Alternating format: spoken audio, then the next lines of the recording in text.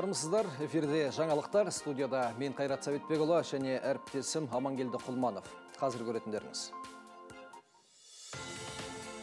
Ақтаудағы әскери бөлімшеде отан алдындағы бұрышын өтеп келген жігіт қазір Алматы көпсалалы клиникалық ауруханасында жатыр. Достарының айтуынша, оны әскери казармада ұрып соққан мәселенің мән жайын толығырақ сәлден кейін мен Гүлмарал Изатқыз айтып берем.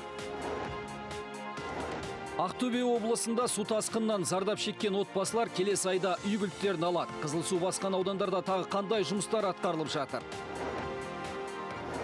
Президент Қасым Жомарт Тоқаев Қытай халық республикасына жұмыс сапармен барды. Сапар аясында мемлекет басшысы қандай бағыттар бойынша келіссөздер жүргізбек. Анашым, сіздерді бір рет көрсем болды. Бұл Ақтау теңіз жаяу әскер қатарында отан алдындағы борышын өтеп үйіне қайтып келе жатқан жігіттің сөзі.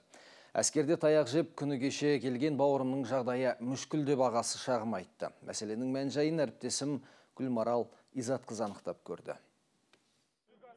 2022 жылдың мамыр айында әскер қатарына шақырылған 17 жастағы бозбала ештеңеден сезіктенбей отан алдындағы борышын өтеуге аттанады. Қатардағы 164 сарбаздың ішінен эфрейтор шенін алған төртеудің бірі болған сарбаз әскери антын қабылдап отанын қорғауға уәде етеді. Алайда бейбіт заманда оны қорғайтын адам табылмады деп отыр туыстары. Ал ағасы атын да түрін де көрсетпеуді сұрады. Бір операциядан кейін жақсы боламыз ба десек одан ары қиындады. Бірінші күні бес сағат операция жасады екінші күні үш сағат жасады енді үшінші операция жасаймыз дейді. Одан кейін барып онымен тоқтаса тоқтат тоқтамаса тағы операция одан кейін барып жағына операция жасайды екен. Ағасының айтуынша даудың басы ұялы телефоннан басталған төрт сарбаздың байланыс құралын ұстап отырғанын взвод командирі байқап қалады. сол кезде енді командирдің жұмысы келгенде неғып ұстайсың да ұстап алған телефондарын алып алған қайтадан сұраған. Сол кезде енді ол да командирде жаңағы көңілдеріне қарап телефонды берген ана біреудің телефондары болғаннан кейін қайтып иелеріне бергенде командирге қайтару керек болған қайтармаған әңгіме осыдан басталып тұр Осыдан кейін ол сарбаздарды соққыға жығып жазалауға тырысқан дейді туысы. Бірнеше мәрте ұрғаннан кейін бозбаланың намысы жібермей, ол да взвод командиріне қол жұмсағанмыз. Алайда болған жайттан жас сарбаз қатты зардап шеккен.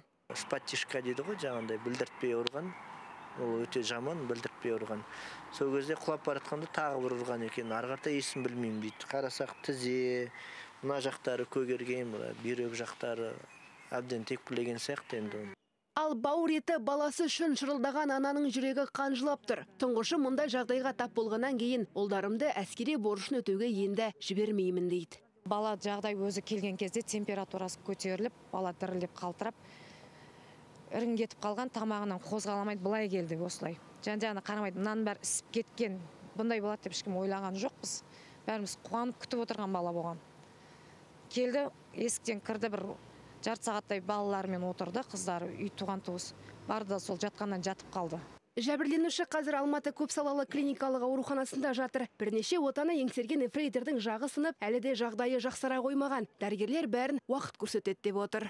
Данный пациент поступил Науқас біздің ауруханаға түскенде жағдай ауыр болды. Бірден жәрдем көрсеттік. Сол күні шұғыл ота жасалды. Бірнеше күн жансақтау бөлімінде жатып, қазір дәрігерлердің бақылауында бет жақ хирургиясы бөлімшесінде ем алып жатыр. Ал әскерде таяқ жеді деген анасы тек баламның аман қалуын тілеймін дейді. Мәселенің анық қанығын білу үшін қорғаныс министрлігіне сұраныс хат жолданды. Гүлмарал Изатқызы, Арсен Сандыбаев, Ғани Қалуов, Алматы телеарнасы. Ақтау тұрғындары оқыстан атылған оқ дауысынан шошып оянды. Оқиға кеше түнгі 12-лер шамасында 16-шы шағын ауданда болған. Жергілікті полиция қызметіне белгісіз біреулердің бірнеше рет оқ атқан туралы хабарлама келіп түскен. Тергеу барысында 20 және 22 жастағы қос күдікті анықталды. Маңғыстау облыстық полиция департаментінің мәліметінше қазір бұзақылық бойынша сотқа дейінгі тексеру жұмыстары жүріп жатыр. Оқиғаның мән жайын анықтау мақсатында оқиға орнына жедел тергеу тобы барды. Ол жақтан атыс гильзалары тәркеленді.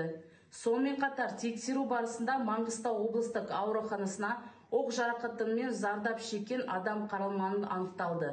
Аталмыш дерек бойынша 20 және 22 жастағы күдіктілер анықталды.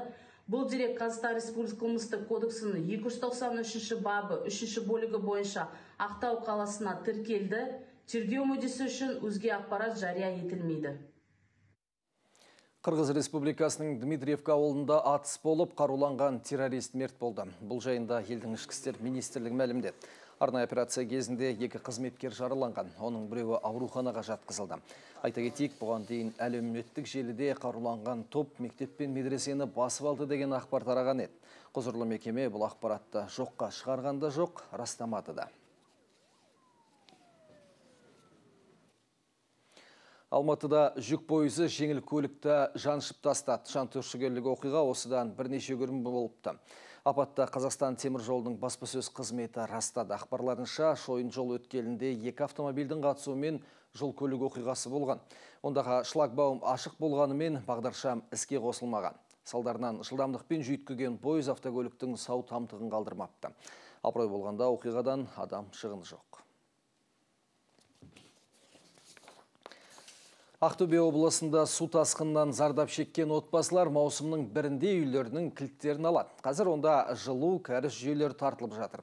Бұл туралы облыс әкім айтты. Сөзінше қазірдің өзінде комиссия жұмысының аяқталмағанына қарамастан ауыл тұрғындарын қолдау мақсатында Қобда ауылындағы 75 жанұя және Қаратал ауылындағы 11 отбасы 500 мың теңгелік сертификаттарға ие болыпты. Сонымен қатар Қобда ауылында 24 үй, оның ішінде 6-2 пәтерлі баспананың құрылысы жүргізіліп жатыр. Ақтөбе облысының әкімі Ералы Тоғжанов су тасқынының салдарын жою мақсатында Қобда және Ойыл аудандарында жергілікті маңызы бар 25 шақырымнан асатын автожолда 4 көпірді жөндеу, 3 бөгетті нығайту және 26 су өткізу құбырын орнату жоспарда бар дейді. Я думаю, к концу мая мы... Су тасқынынан зардап шеккен отбасылар маусымның бірінде үйлерінің кілттерін алады. Қазір энергетика желілері жүргізілген соңғы жылу кәріз жүйелері тартылып жатыр. Алғашқыда уәде еткендей барлық отбасыға көмек көрсетіледі. Сондай ақ зардап шеккен мектеп ғимараты мен дене шынықтыру сауықтыру кешенін күрделі жөндеу қарастырылған. Сонымен қатар Ойыл ауданының екі ауылында бей-жай қарамайтын азаматтардың қатысуымен екі бөгет салу жоспарлануда.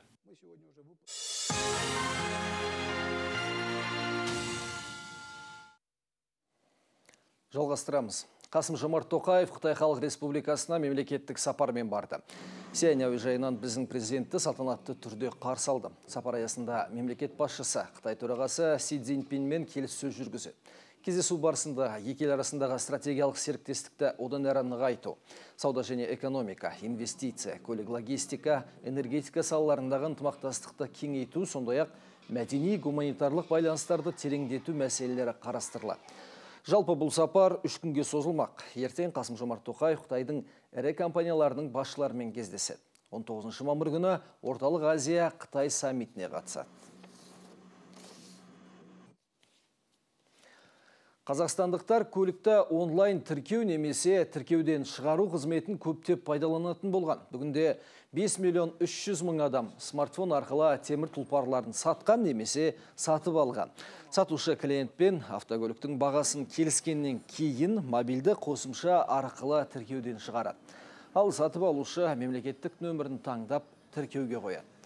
Ішкі істер министрлігі мұндай онлайн қызмет түрінің қатарын арттырмақшы екен. Енді онлайн сервистер арқылы автокөлікті бастапқы тіркеуге қоюды қолға алмақшы.